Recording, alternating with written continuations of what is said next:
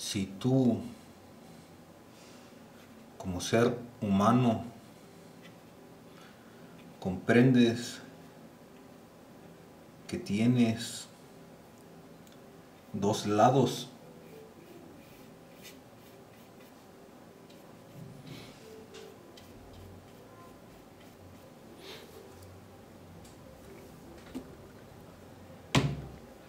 derecha izquierda left right derecha el sonido está compuesto por un bucle literalmente de una onda que genera un ciclo en el cual un lado es positivo y el otro lado es negativo. Para que una persona, mejor dicho, tú sabes que en tus oídos no entra derecha positivo e izquierda negativo, prácticamente tu oído capta así, derecha e izquierda, o left, positivo y negativo, porque es parte del ciclo del sonido que tú estás escuchando en dado caso de que venga del lado derecho, o ya sea del lado izquierdo.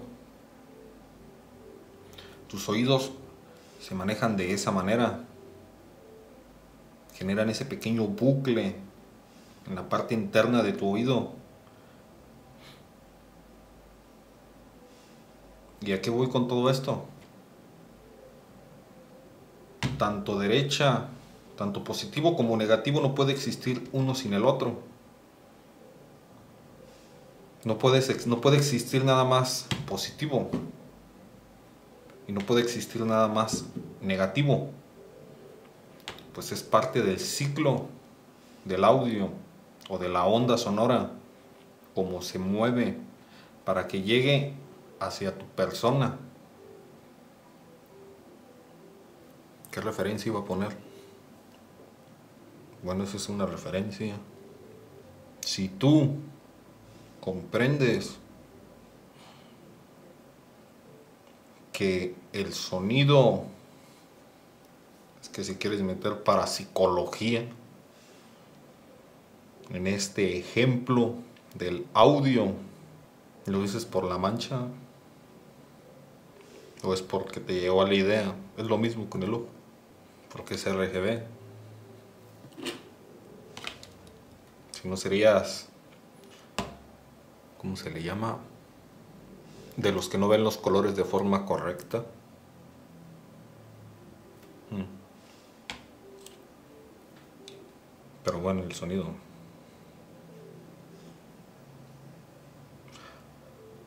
si tú estudias un lugar en el cual pasó algún suceso, así como tú ahorita que estás en donde estés, haciendo lo que estés haciendo, prácticamente dejas un recuerdo en ese lugar, porque la onda, tú vas pasando, estás haciendo un sonido, caminando, estás dejando ese sonido. O sea, una emoción en un lugar.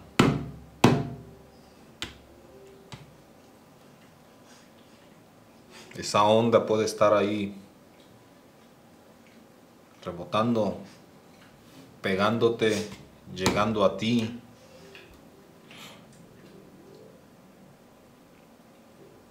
Y eso te puede generar una emoción.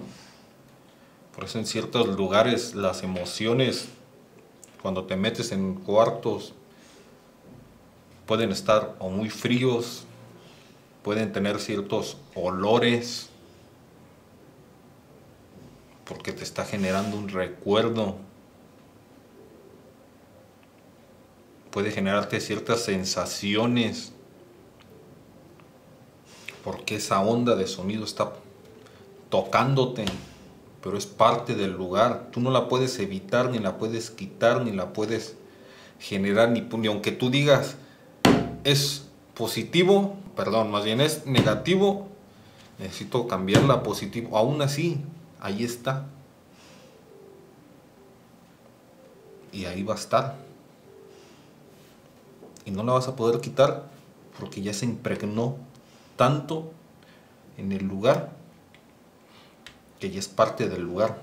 Aún así, tumbes las paredes en las cuales rebota, se impregnó en esa área que ya es parte de él o del sonido, el ambiente, la sensación, el lugar. Por eso cuando tú viajas a un lugar, tiene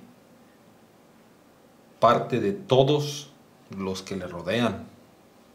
Y si todos los que le rodean se van y otra persona llega, ese lugar,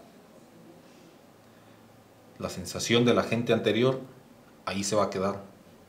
Puede que la gente que llegue esté haciendo algo distinto porque ellos lo perciban de distinta manera, pero es la misma emoción la que está ahí.